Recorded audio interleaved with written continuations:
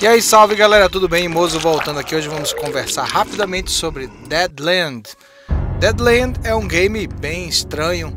Na verdade, é difícil até definir o gênero dele, mas eu encontrei aqui um gênero para ele que chama-se Endless Runner, ou seja, corredor infinito.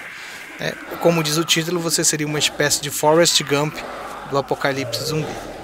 Na verdade, nesse game você vai eh, correr através de um apocalipse zumbi de maneira desesperada, tentando desviar né, dos zumbis ou acertar eles para derrubar eles.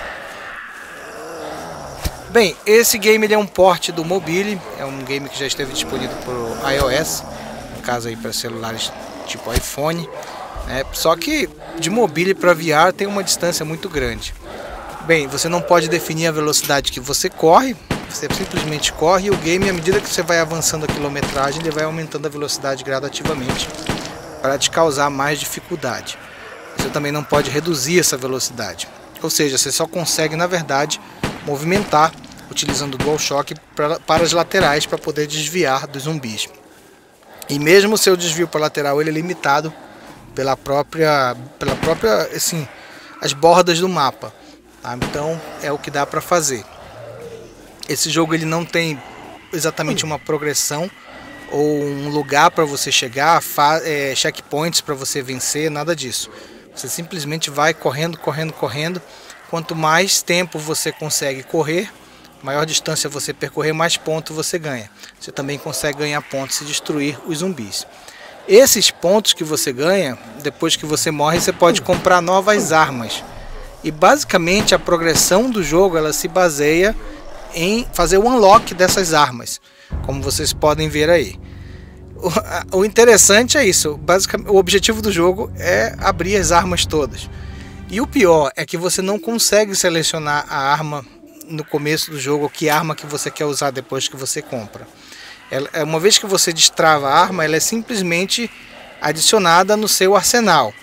E aí, à medida que você vai passando numas caixas de munição, aleatoriamente o jogo vai te dando uma arma diferente, que pode ser o machadinho, que é o único que você tem no começo, que é péssimo para matar os zumbis, ou pode ser, sei lá, a super bazuca que você pegou no final do jogo. Ou seja, o jogo não te dá o direito de você escolher a própria arma.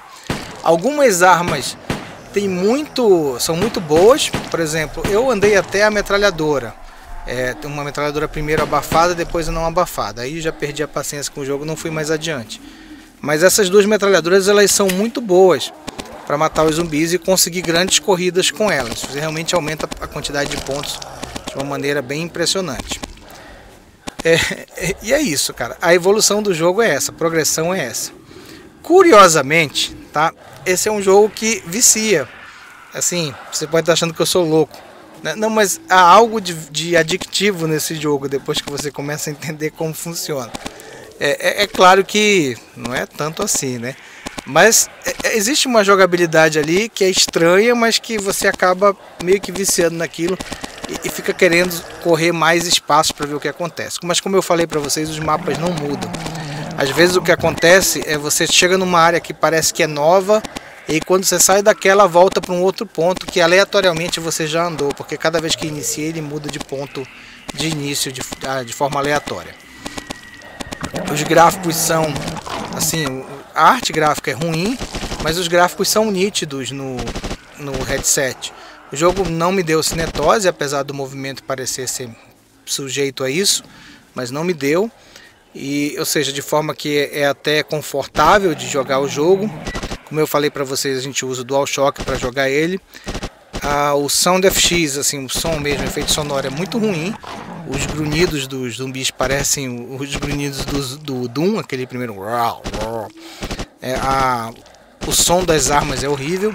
E o cara, quando morre, emite um grito que é medonho. Eu tenho mais medo de morrer para não ouvir o protagonista gritar do que outra coisa. Tem uma variedade boa de zumbis, desde policiais, é, mulheres, homens, zumbis que se arrastam, zumbis que, zumbis que correm no chão, operários é, sei lá, de todos os tipos. Tem até uma hora que começa a aparecer uns Rottweilers, uns cachorros, e, um, e uns zumbis que parecem ser assim ETs ou demônios, sei lá, caindo do céu do nada.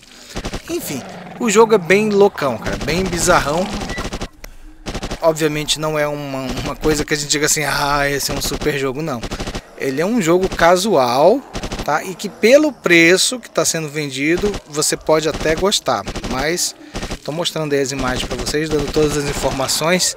Se vocês quiserem tentar, vão por sua conta e risco, ou por curiosidade, ou porque realmente gosta de, de matar um zumbizinho de vez em quando. Mas eu acho que é mais assim, o gênero realmente casual e provavelmente você não vai ficar muito tempo com esse jogo.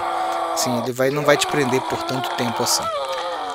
É, não acho que seja uma experiência plenamente recomendável, acho que é mais um protótipo, uma ideia, um conceito do que alguma outra coisa. Poderia ser uma ideia bem mais explorada. É isso aí, espero que vocês tenham gostado desse review de hoje. Deixa aí seus comentários. Tá? É, é a ideia aqui é dar todas as informações para vocês, até para evitar eventualmente de que vocês comprem gato por lebre aí. Então, nesse sentido, espero que tenham gostado do vídeo. Deixa seu like aí, aquele joinha, se inscreva no canal, acione as notificações, compartilhe e vamos lá, a gente se encontra na próxima. Valeu, um grande abraço e fui!